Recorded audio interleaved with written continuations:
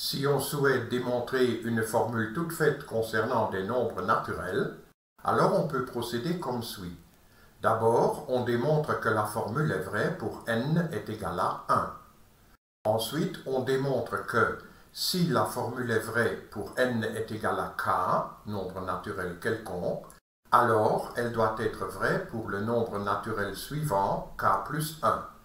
Ainsi, on aura démontré que la formule est vraie pour n'importe quel nombre naturel. Pourquoi? Parce qu'on a démontré que la formule est vraie pour n égale 1. Et alors, elle doit être vraie pour le naturel suivant, c'est-à-dire n égale 2. Donc elle est vraie pour n est égal à 2. Alors elle doit être vraie pour le nombre naturel suivant, 3. Donc elle est correcte pour 3. Ensuite, elle doit aussi être correcte pour le nombre naturel suivant, 4. Donc elle est vraie pour 4. Donc pour 5 et aussi pour 6 et pour tous les nombres naturels suivants. Comparé au domino, ça signifie que on démontre d'abord que le domino numéro 1 tombe. Ensuite, on démontre si un domino quelconque de numéro k tombe, alors le domino suivant de numéro k plus 1 doit également tomber.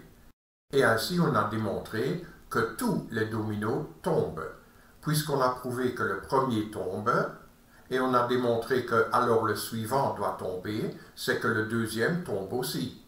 Et comme le suivant doit également tomber, c'est que le troisième tombe. Donc aussi le quatrième, ensuite le cinquième, ensuite le sixième, etc. Donc de proche en proche, tous les dominos tombent et la formule est ainsi démontrée pour n'importe quel nombre naturel n. Nous allons appliquer ce procédé qu'on appelle démonstration par récurrence, pour démontrer cette formule-là. Démontrons-la d'abord pour n est égal à 1.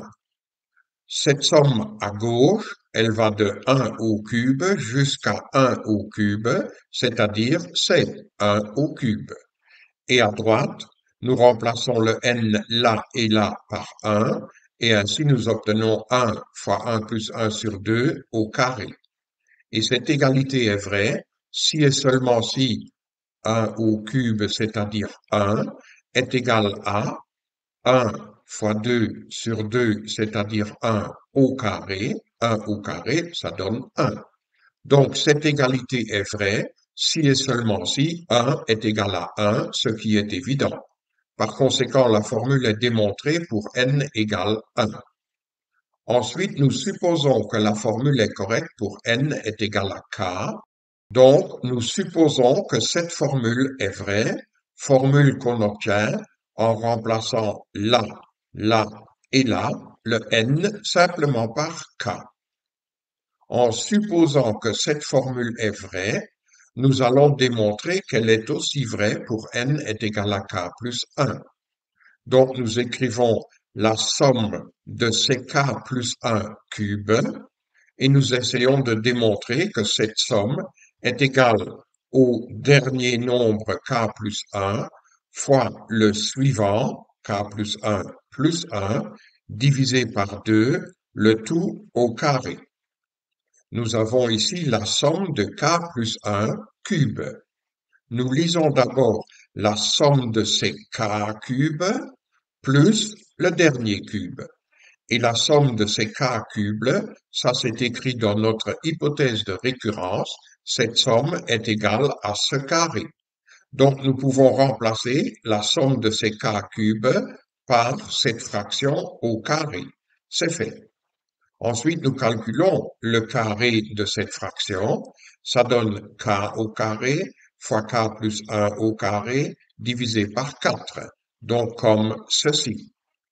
Ensuite, nous écrivons ce cube divisé par 1 et nous multiplions numérateur et dénominateur par 4 pour avoir ici le même dénominateur. Ainsi, pour additionner ces deux fractions, il suffit d'additionner les numérateurs. Et dans cette somme numérateur, nous pouvons mettre k plus 1 au carré en évidence, et entre parenthèses, il reste ce k carré, le voilà, plus 4 fois k, plus 4k, plus 4 fois 1, donc plus 4. Et k au carré plus 4k plus 4, ça c'est exactement le carré de k plus 2. Et k plus 2 peut être transformé en k plus 1 plus 1. Et voilà, la formule est bien démontrée, elle est vraie pour n'importe quel nombre naturel, n